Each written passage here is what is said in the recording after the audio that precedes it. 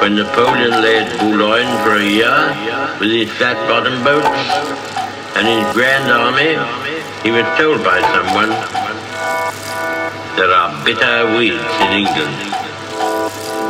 There are certainly a great many more of them since the British Expeditionary Force returned.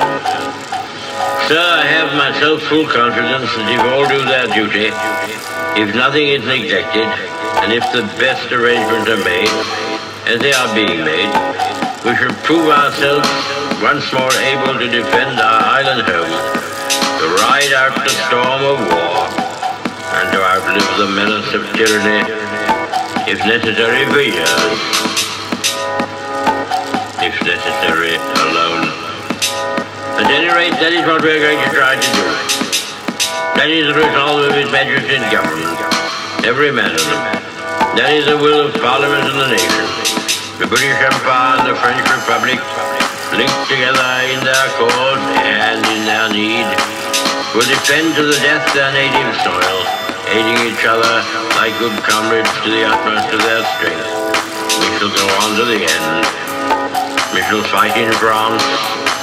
We shall fight on the seas and oceans. We shall fight with growing confidence and growing strength in the air.